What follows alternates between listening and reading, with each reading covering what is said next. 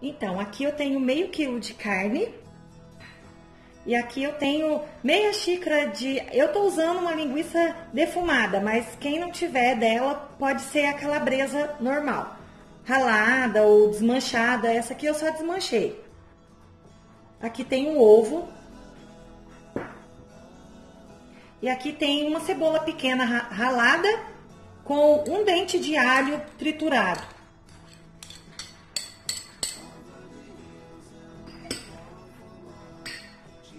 Eu tenho aqui três colheres de farinha de farelo de aveia. Pode ser substituído por farinha de rosca também. Eu estou usando farelo de aveia porque eu estou tentando fazer um regimezinho.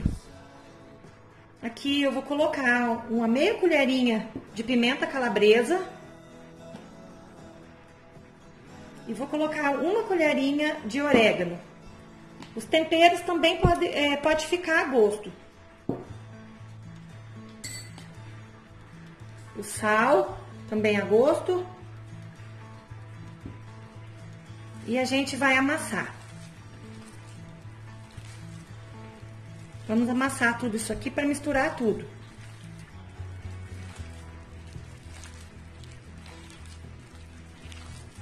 Eu vou deixar os ingredientes, a quantidade certa é, listada na descrição do vídeo.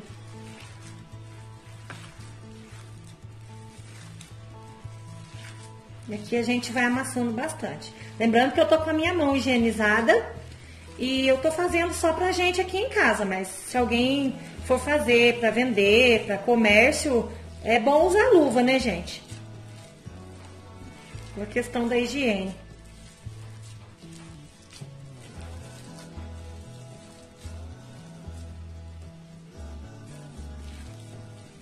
Aqui bem amassado, eu vou deixar ele descansar um pouquinho.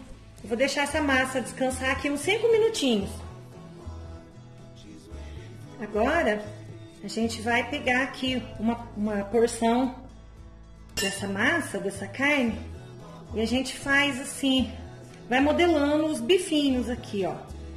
Assim, na palma da mão, a gente vai apertando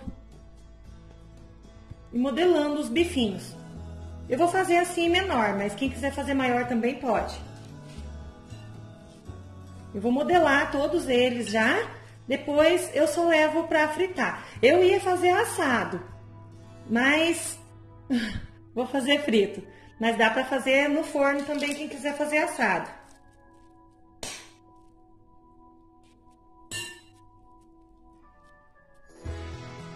E a gente vai modelando ele, é, pressionando ele assim, ó. Tem que pressionar ele assim, para ficar bem compactado.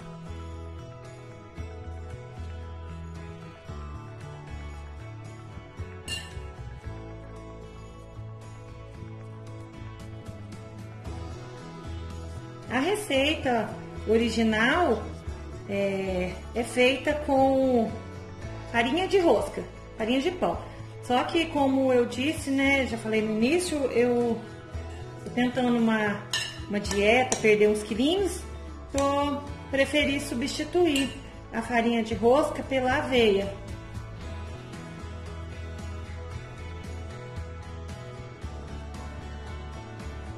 Utilizei farelo de aveia.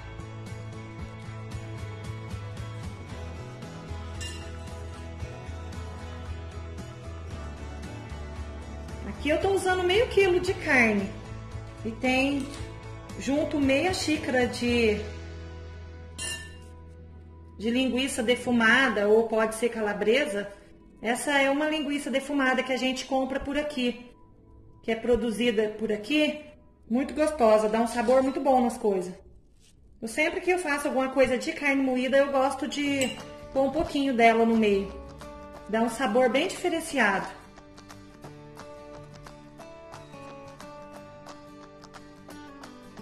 Quando vocês forem comprar a carne moída, já, você já pode pedir pro, no açougue, assim, pro açougueiro já moer junto. Pede para ele moer junto é, um pouquinho de calabresa e já pode moer junto com a carne. Se for comprar a carne só para isso, né? Já pode moer junto.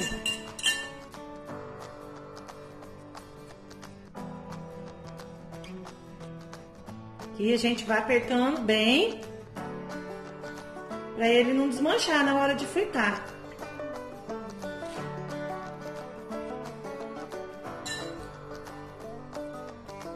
É muito gostoso esses hamburguinhos aqui. Saudável, né, gente? Em casa a gente deixou de comer hambúrguer assim, comprado, esses industrializados, já faz muito tempo que a gente não come mais. Prefiro fazer em casa e comer uma coisa mais saudável, uma comida mais. Tipo, comida de verdade.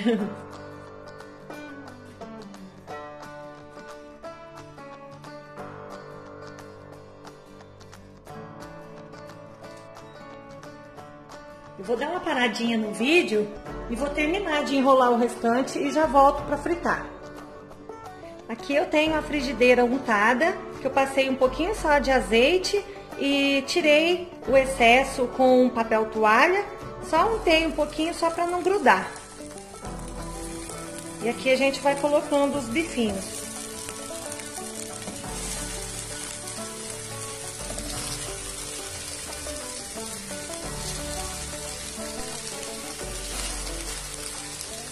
Uma frigideira antiaderente, que não gruda, né? A gente vai fritando.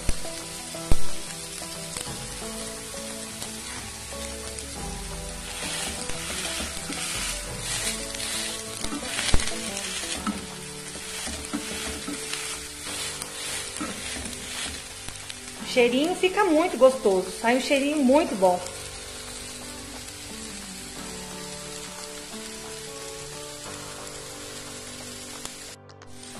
Aqui eu já vou virar eles.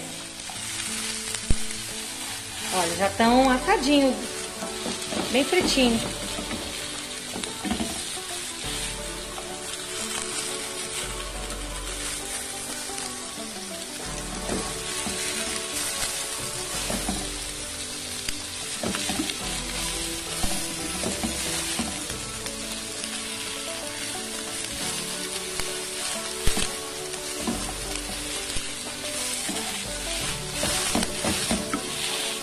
Aqui a gente dá uma apertadinha.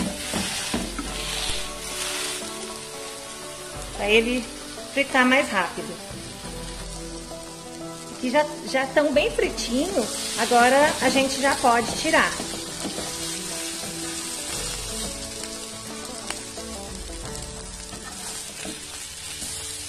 Eu vou colocar sobre papel absorvente, mas eles, papel toalha aqui para absorver um pouco, mas eles estão bem sequinhos, porque eu não coloquei óleo na frigideira, eu dei só uma untada.